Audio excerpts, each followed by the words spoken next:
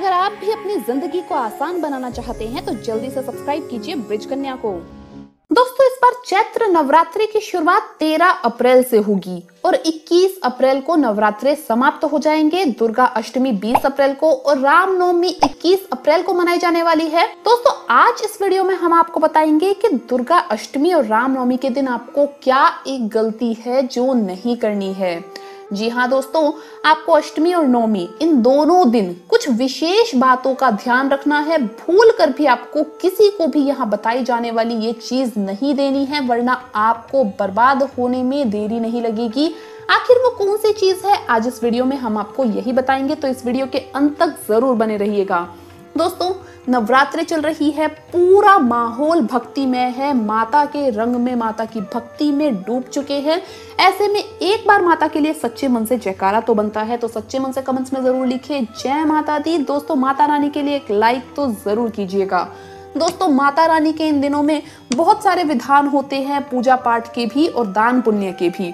बहुत से नियम होते हैं। दान करना बहुत ही अच्छी बात है, लेकिन ज़रूरत से ज़्यादा दान और बिना नियम के किए गए काम बड़े बड़े राजाओं को भी रोड पर ला देता है। इसलिए दान, पुण्य पूजा पाठ हमेशा क्षमता अनुसार और नियम व विधि विधान के साथ करने चाहिए। यानी कि कुछ सावधानियाँ हैं जिनका आपको अष्टमी और नवमी इन दोनों दिनों पर ज़रूर ध्यान रखना चाहिए। जैसे कि कुछ चीज़ें हैं जो आज हम आपको यहाँ बताएँगे, जो कि आपको अष्टमी के दिन किसी को भी नहीं देनी चाहिए। नवमी के दिन भी आपको इन चीज़ों का ध्यान रखना है, वरना आपको नवरात्रों का फल मिलने की जगह माँ के क्रोध का सामना करना पड़ सकता है। तो चलिए जानते हैं कि आखिर अष्टमी और नवमी के दिन वो कौन सी वस्तु है जो किसी को भी नहीं देनी चाहिए। दोस्तों, आज के समय में जीवन में धन एक ऐसी चीज़ है जिसकी चाहत हर किसी को होती है और बहुत सारे लोग धन कमाने के बहुत उपाय करते हैं। कभी कभी तो दूसरों को परेशान करते हैं तो कभी कभी दूसरों का ही धन तक भी हड़प लेते हैं। दोस्तों, इस महाअष्टमी और नवमी पर आपको इस बात का खास ख्याल रखना है कि कोई आपसे कितना भी क्यों ना मांग ले, लेकिन आपको इस दिन किसी भी बाहर वाले व्यक्ति को पैसे देने की भूल नहीं करनी है। इस दिन किसी को भी पैसे उधार में नहीं देने चाहिए और यहाँ तक कि इस दिन किसी को कोई भी वस्तु खरीद कर भी नहीं देनी चाहिए। कोई गिफ्ट तक भी आपको इस दिन किसी को नहीं देना चाहिए। नहीं तो पूरे साल आपको धन की किल्लत रहेगी। इसलिए इस बात का हमेशा ध्यान रखिए, क्योंकि दोस्तों सब जानते हैं कि नवरात्रों के नौ दिन इतने शुभ होते हैं हर काम के लिए। अब ऐसे में आप अपने लिए कुछ खरीदे, कुछ शॉपिंग करें तो ये बहुत ही ज़्यादा शुभ होगा। नवरात्रों के अच्छे दिनों में कोई भी शुभ कार्य करने से उसकी बरकत काफ़ी दिनों तक रहती है।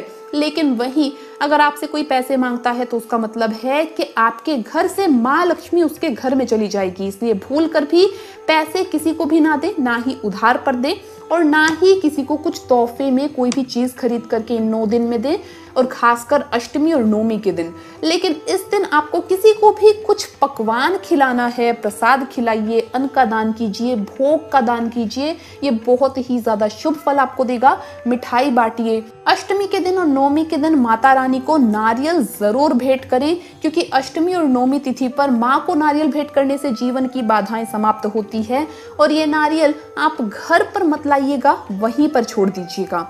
आपको अगर प्रसाद के लिए नारियल चाहिए तो आप अलग से दूसरे नारियल का प्रसाद चढ़ा सकते हैं। लेकिन ये नारियल जो मैंने आपको बताया है कि आपको माता रानी को भेंट में देना है, वो आपको मंदिर में ही छोड़ करके आना है।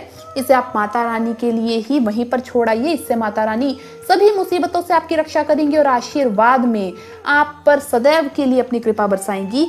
इसके अलावा आपको अष्टमी के दिन और नौमी के दिन संपूर्ण श्रृंगार की वस्तु, या तो आप अष्टमी के दिन या नौमी के दिन माता रानी को संपूर्ण श्रृंगार की वस्तु का अर्पित कीजिए। इसके अलावा अष्टमी के दिन या फिर नौमी के दिन संपूर्ण श्रृंगार की वस्तु माता रानी को अर्पित करने का भी विधान है। दोस्तों, अब आपके मन में ये सवाल होगा कि अगर पैसे नहीं देने तो अष्टमी के दिन या नौमी के दिन जो कन्या पूजा होगी तो दक्षिणा कैसे दें? तो आपको बता दें कि कन्या पूजन के बाद आप जो दक्षिणा दे रहे हैं कन्याओं को तो वो आप स्वयं माता रानी के ही रूप को, यानी कि माता रानी को ही चढ़ावा दे रहे हैं। तो कभी भी इससे आपको नुकसान हो ही नहीं सकता। इसलिए बच्चों को आप दक्षिणा बिना किसी शंका के दे सकते हैं, मन में कोई भी शंका ना रखें। साथ ही उन्हें फल दीजिए, उनके लिए अगर आप कोई तोहफा लाए हैं तो बेझिझक ला सकते हैं। यहाँ बात हो रही है किसी भी बाहरी व्यक्ति को अपने घर की लक्ष्मी पकड़ाने की। लेकिन छोटी छोटी कन्याएँ तो स्वयं माता रानी का रूप है। उन्हें अगर आप कोई भेंट देना चाहते हैं, दक्षिणा देना चाहते हैं तो इसमें कोई भी गलत नहीं है। आप उन्हें खास करके कुछ भी दें, लेकिन केला तो आप ज़रूर दें। आप फल दीजिए, बच्चे खाएँगे, मस्त रहेंगे, स्वस्थ रहेंगे और आपको आशीर्वाद भी देंगे। तो दोस्तों, सच्चे मन से माता रानी की आराधना करें, पूजा पाठ करें, माता रानी की कृपा आप पर बरसती रहेगी। आपको ये वीडियो कैसा लगा, हमें कमेंट्स में ज़रूर बताएँ। इस वीडियो को लाइक करें, अपने दोस्तों के साथ शेयर करें और हमें सब्सक्राइब करना ना भूलें। धन्यवाद दोस्तों, आपका दिन शुभ रहे। जय माँ लक्ष्मी, जय माता दी।